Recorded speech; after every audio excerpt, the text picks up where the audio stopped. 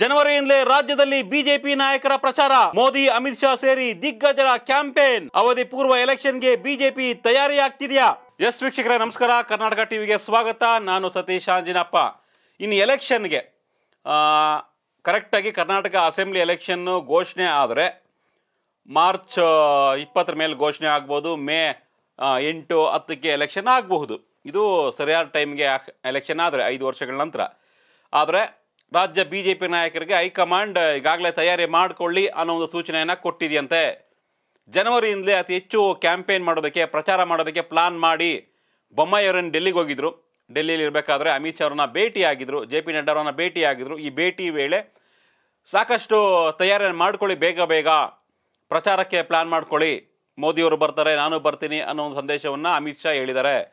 ಅದಕ್ಕೆ ತಕ್ಕಂತೆ ಅಮಿತ್ ಶಾ ಇದೇ ಡಿಸೆಂಬರ್ ಮೂವತ್ತನೇ ತಾರೀಕು ಮಂಡ್ಯಕ್ಕೆ ಬರ್ತಾ ಇದ್ದಾರೆ. ಬೇರೆ ಕಾರ್ಯಕ್ರಮಕ್ಕೆ ಬಂದರೂ ಕೂಡ ಮಂಡ್ಯದಲ್ಲಿ ಬಿಜೆಪಿಯ ಅದ್ದೂರಿ ಕಾರ್ಯಕ್ರಮವನ್ನು ಆಯೋಜನೆ ಮಾಡಲಾಗಿದೆ. ಡಿಸೆಂಬರ್ ಮೂವತ್ತನೇ ತಾರೀಕು ಒಂದು ಲಕ್ಷಕ್ಕೂ ಹೆಚ್ಚು ಜನರನ್ನು ಸೇರಿಸುವಂಥ ಕಾರ್ಯ ನಡೀತಾ ಇದೆ. ಏನಪ್ಪ ಇಷ್ಟೊಂದು ತರಾತುರಿ ಅಂದರೆ? ಅವಧಿ ಪೂರ್ವ ಚುನಾವಣೆ ಆಗಬಹುದಾ? ಅಂದರೆ ಏನು ಮೇಗೆ ನಡಿಬೇಕಾಗಿತ್ತು ಎಲೆಕ್ಷನ್ ಕರ್ನಾಟಕದಲ್ಲಿ. ಆ ಒಂದು ಎಲೆಕ್ಷನನ್ನು ಮಾರ್ಚ್ ಎಂಡ್ ಒಳಗಡೆ ಮುಗಿಸೋದಕ್ಕೆ ಟ್ರೈ ಮಾಡ್ತಾ ಇದ್ದಾರೆ ಅನ್ನೋ ಒಂದು ಚರ್ಚೆ ಆಗ್ತಾ ಇದೆ. ಹೀಗಾಗಿನೇ ಡಿಸೆಂಬರ್ ಮೂವತ್ತರ ಅಮಿತ್ ಶಾ ಕಾರ್ಯಕ್ರಮ ಅದಾದ ನಂತರ ಮೋದಿಯವರು ಮತ್ತೆ ಕರ್ನಾಟಕಕ್ಕೆ ಬರ್ತಿದ್ದಾರೆ. ಬಹುಶಃ ಡಿಸೆಂಬರ್ ಮೂವತ್ತು ಮಂಡ್ಯ ಕಾರ್ಯಕ್ರಮ ಆದ ಬಳಿಕ ಜನವರಿ ಹನ್ನೆರಡನೇ ತಾರೀಕು ಧಾರವಾಡಕ್ಕೆ ಬರಬಹುದು ನರೇಂದ್ರ ಮೋದಿ ಅವರು ಅಲ್ಲಿಂದ ಮತ್ತೆ ಎಲ್ಲ ಜಿಲ್ಲೆಗಳಿಗೆ ಪ್ರವಾಸವನ್ನು ಕೈಗೊಳ್ಳುವಂಥ ಪ್ಲಾನ್ ಇದ್ದಂತೆ ಕಾಣಿಸ್ತಾ ಇದೆ ನರೇಂದ್ರ ಮೋದಿಯವರು.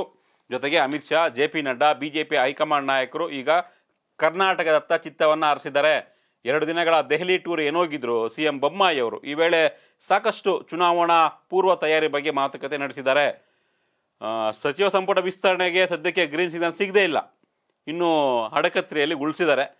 ಯಾವುದೇ ಕಾರಣಕ್ಕೂ ಸಚಿವ ಸಂಪುಟ ವಿಸ್ತರಣೆ ಬೇಡ ಅನ್ನೋ ಕಾರಣಕ್ಕಾಗಿ. ಆದರೆ ಮೀಸಲಾತಿ ವಿಚಾರವಾಗಿ ಕೆಲವೊಂದಿಷ್ಟು ಸಲಹೆಯನ್ನು ಕೊಟ್ಟು, ಪಂಚಮಸಾಲ ಮೀಸಲಾತಿ ಆಗಿರ್ಬೋದು ಅಥವಾ ಬೇರೆ ಸಮುದಾಯಗಳ ಒಂದು ಮೀಸಲಾತಿ ವಿಚಾರವಾಗಿ ಚರ್ಚೆ ನಡೆಸಿ ಕೆಲವೊಂದಿಷ್ಟು ಸಲಹೆಗಳನ್ನ ಬೊಮ್ಮಾಯಿ ಅವರಿಗೆ ಕೊಟ್ಟಿದ್ದಾರೆ ಅಮಿತ್ ಶಾ ಮತ್ತೆ ಜೆ ಪಿ ನಡ್ಡಾ ಅವರು. ಇದಕ್ಕೆ ತಕ್ಕಂತೆ ಇದರ ಜೊತೆಗೇನೆ ಎಲೆಕ್ಷನ್ಗೆ ರೆಡಿ ಮಾಡ್ಕೊಳ್ಳಿ ಅನ್ನೋ ಒಂದು ಸ್ಪಷ್ಟ ಸಂದೇಶವನ್ನು ಕೊಟ್ಟಿದ್ದಾರೆ. ಹಾಗಿದ್ರೆ ಮಾರ್ಚ್ ಅಂತ್ಯದ ವೇಳೆಗೆ ರಾಜ್ಯದಲ್ಲಿ ಎಲೆಕ್ಷನ್ ನಡೆಯುತ್ತಾ? ಮಾರ್ಚ್ ಮೊದಲ ವಾರದಲ್ಲೇ ಎಲೆಕ್ಷನ್ ಘೋಷಣೆ ಆಗಬಹುದಾ? ಬಜೆಟ್ ಅಧಿವೇಶನ ಬಹುಶಃ ಫೆಬ್ರವರಿ ಎಂಡಲ್ಲೇ ಬಜೆಟ್ ಘೋಷಣೆ ಮಾಡಿ ಬಜೆಟನ್ನು ಮಂಡಿಸಿ ಅದಾದ ನಂತರ ಚುನಾವಣೆಯನ್ನು ಘೋಷಣೆ ಮಾಡಬಹುದು ಅನ್ನೋ ಒಂದು ಲೆಕ್ಕಾಚಾರ ಇದ್ದಂತೆ ಕಾಣಿಸ್ತಾ ಇದೆ. ಸೊ ಬಿ ಜೆ ಪಿ ನಾಯಕರು, ರಾಜ್ಯ ಬಿ ಜೆ ಪಿ ನಾಯಕರು ತಯಾರಾಗದೇ ಇದ್ರು ಕೂಡ ರಾಷ್ಟ್ರೀಯ ಬಿ ಜೆ ಪಿ ನಾಯಕರು B J P high command ಈ ನಿಟ್ಟಿನಲ್ಲಿ ಯೋಚನೆ ಮಾಡಿದೆ ಅನ್ನೋ ಒಂದು ಚರ್ಚೆ ಬರ್ತಾ ಇದೆ.